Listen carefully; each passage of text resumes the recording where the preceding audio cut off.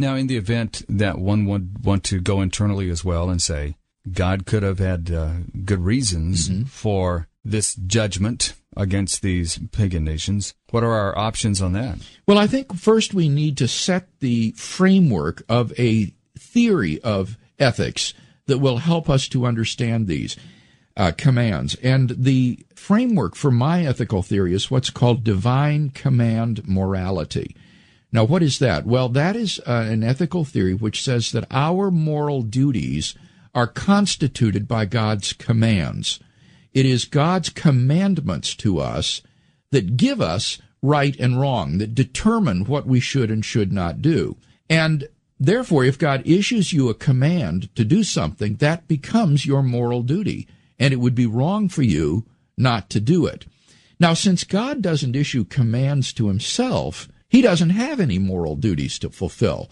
Rather, he simply acts in accordance with his nature, which is loving, just, kind, compassionate, and so forth.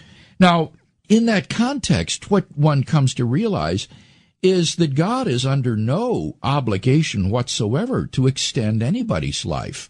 Life is a gift from God, and He's not duty bound to prolong your life. He can take your life as He sees fit. That's His prerogative as God.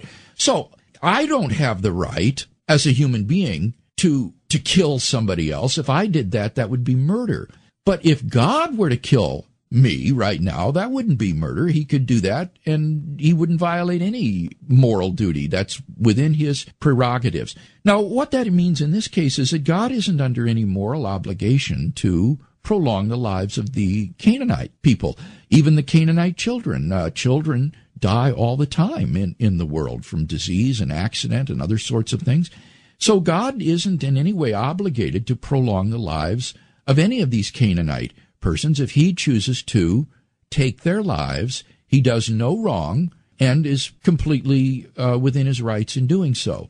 So the problem isn't that God took the lives of the Canaanites. That's that's not really a, a difficulty. The difficulty rather is that he commanded the Israeli soldiers to take the lives of these Canaanites. That is, I think, the the essence of the problem. And if God were all knowing and he had the attributes of omniscience and so forth, it wouldn't be an arbitrary thing. He would have a purpose Yes, that's right. God is in taking a life. his commands reflect his own moral nature and character, which is just and loving and wise, so that his commands are not issued capriciously or arbitrarily. There would be good, morally sufficient reasons for issuing a command like this. And if God were to issue a command to the soldiers to kill the Canaanite people, in virtue of divine command morality, that would become their moral duty. That would become the right thing for them to do. Now, someone might say, well, then are you saying that God can command someone to murder somebody else? Is that what you're saying? No, I'm not saying that God can command you to murder someone.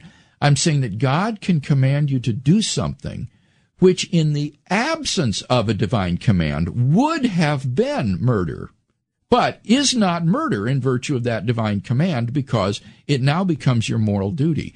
God has the right to command you to do things which, in the absence of a command, would have been sin. So think of Abraham's sacrifice of his son Isaac. If Abraham had done this on his own initiative, if he had just taken his son and decided to sacrifice him to God, that would have been an abomination in God's sight. But under the injunction of a divine command to sacrifice Isaac, it is no longer murder.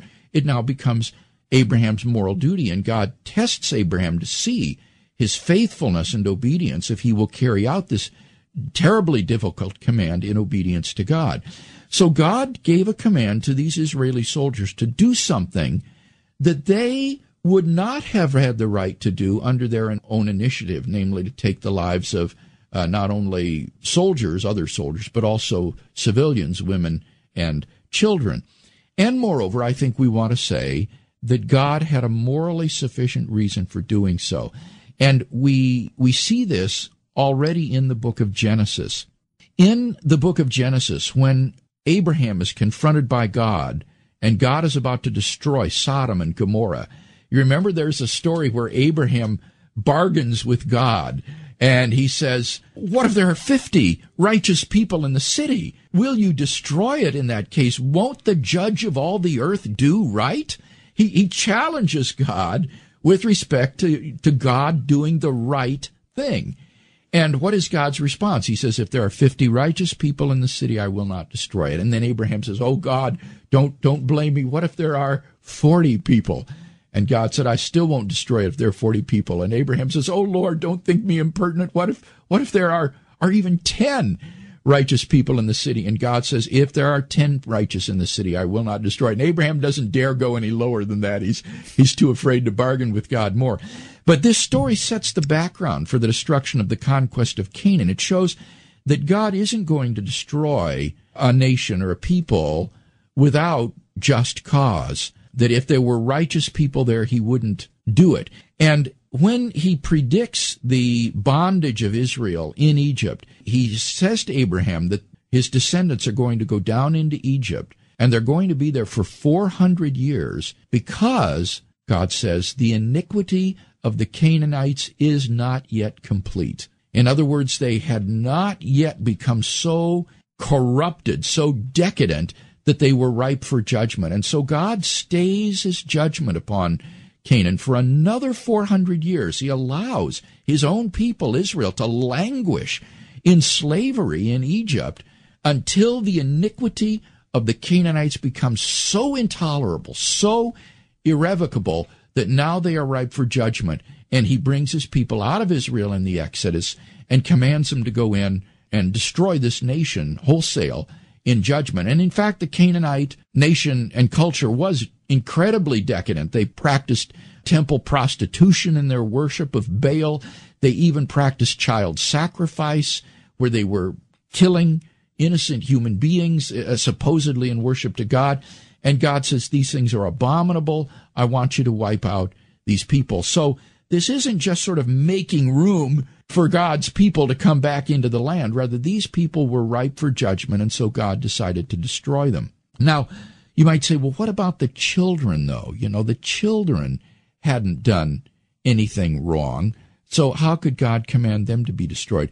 Well, here I think, Kevin, we need to look at the destruction of the Canaanite children in the wider context of God's commandments to Israel not to assimilate to pagan nations and practices.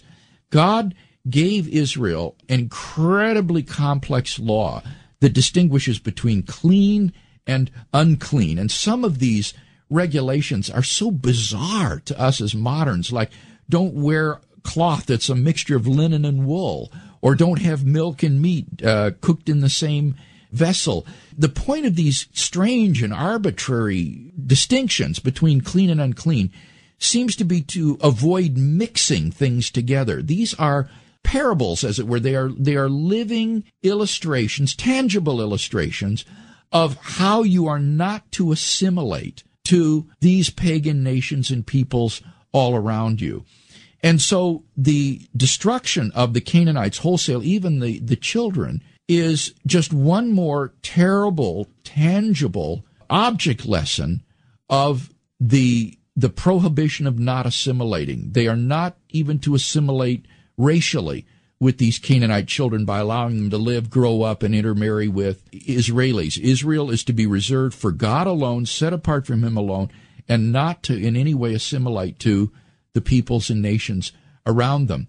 So God has them even take the lives of the children to prevent this. Now, notice that in doing so, God doesn't do anything wrong to those children. In fact, if you believe in the salvation of infants, as I do, the destruction of these children was in fact their salvation. It, it means that they went to heaven and went to be with God. So he certainly spared them the rigors of the horrors of paganism. Yeah. What if they'd grown up in, in that Canaanite culture and then ultimately go to hell? And so but at any rate, it's it's God's call, right? You know, it, it's God's prerogative as as the divine lawgiver, and He can command people to do things that, in the absence of a command, would have been sin, but in the presence of a command is now their duty. He does so with good moral reason, but also He doesn't wrong the children. I mean, I think that's important to see. He does no wrong to them in doing this. On the contrary, it accords them salvation, eternal life, and a knowledge of God.